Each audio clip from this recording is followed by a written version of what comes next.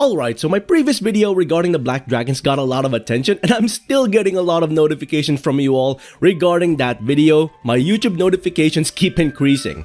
But with all of that being said, there are two key subjects I want to quickly cover in this video as an extension of that previous video because these are two subjects that kept being repeated by the comment section. So the first one is all about why I don't use the term forbidden monsters when I talk about the black dragons and the other one is why I added Safi'jiiva in that video. Let's go ahead and take a look as to why I don't first use the term forbidden monsters when describing the black dragons. The main reason I personally didn't use the term forbidden monsters is due to the fact that this terminology originated from a golden rule that Capcom made in early generations of Monster Hunter. The rule basically forbade Capcom staff from ever acknowledging the existence of the Black Dragons, therefore they made no attempts to create any kind of promotional material that would expose the Black Dragons to the game's community. No social media posts, no official artworks or renders, no website materials, nada, nothing. The only time this rule was ever broken was in Tri, where they showcased a full playlist of every monster's intro, including that of Alatreon. However, outside of this one single time, they never made any kind of acknowledgement regarding the existence of the other Black Dragons. So that means that at Capcom, the staff were literally forbidden from talking about these monsters, hence Forbidden Monsters. However, when Capcom celebrated the 15th anniversary of Monster Hunter in 2019, they also lifted a ban that stopped them from talking about the Black Dragons. During this time, the Monster Hunter series exploded with promotional material surrounding the Black Dragons, with Capcom going as far as to create a real-life display of the Fatalis Eye during an event in Tokyo.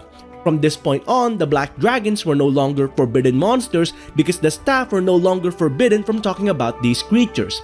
If you want more information on this subject, I highly recommend watching Gaijin Hunter's video on Forbidden Monsters as they cover more details of how Capcom made the initial rule before the 15th anniversary event of the series. Alright, so for this next segment, a lot of people kept saying I did something wrong regarding the Black Dragon video by adding Safi'jiiva on the list because it's not a Black Dragon, it's a Red Dragon. It does not belong in the group, it's a rival to Fatalis. Well, it being a rival to Fatalis does not have to be mutually exclusive to it being a Black Dragon, that can still be a thing. However, the main part I really want to showcase here is how Capcom designed the Safi'jiiva as a Black Dragon from the very beginning, but they merely gave it a color swap. Where do I get my information from? Well, I didn't get it from some fandom website. I got mine straight from the source. I got it from the Holy Bible that is the Dive to Monster Hunter World Iceborne book. This big thick book of Iceborne lore and development diary this showcases that Safi'jiiva has always been designed as a black dragon. Now I'm not going to filter through the pages physically here but I'm going to show you what part of the Safi'jiiva pages describes the Safi'jiiva as a black dragon with this production note right here first and foremost. As it states, Safi'jiiva was designed originally as a Black Dragon rival to Fatalis, however when they realized that the majority of the most powerful monsters in the series tend to have a black coloration, they wanted to do something different for Safi'jiiva with the keywords Red Dragon. That's the reason why it had a color swap from being a Black Dragon. Alongside this, they made sure to create it as an adult version of Xeno'jiiva to surprise the players. That's the reason why you can see the crevices of the sensory organ of the Xeno'jiiva when you break the Safi'jiiva horns. If you want more evidence regarding Safi'jiiva being designed as a black dragon, Take a look at this two-page spread right here for the concept art of the monster. As you can all see, it was originally designed with a black coloration until they ultimately decided to give it a color swap with the red coloration instead. This is something that they did for both the Crimson and White Fatalis in previous Monster Hunter games, so it's not an exclusive thing that they did for Safi'jiiva to give it a different coloration but still treat it as a black dragon.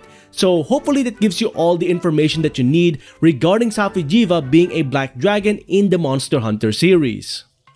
Another fun fact I want to quickly add regarding Safi'jiiva is that during its initial release in Iceborne alongside the Stygian Zinogre, they actually treated it as a forbidden monster.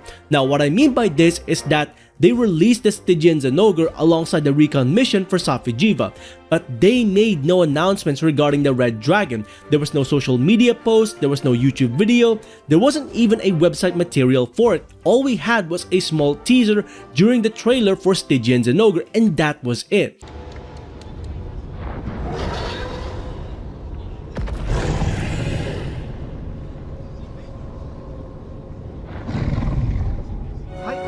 This update features the mature form of Xeno'jiiva. We purposefully withheld information about it last time and focused instead on Stygian Zinogre. But the true piece de resistance all along was Xeno'jiiva. So, what can you expect from this monster? Let's lift the curtain. So for that short time frame between the initial release of the Recon mission and the release of the 4.5 developer diary for Iceborne, Capcom treated Safi'Jiiva as a forbidden monster.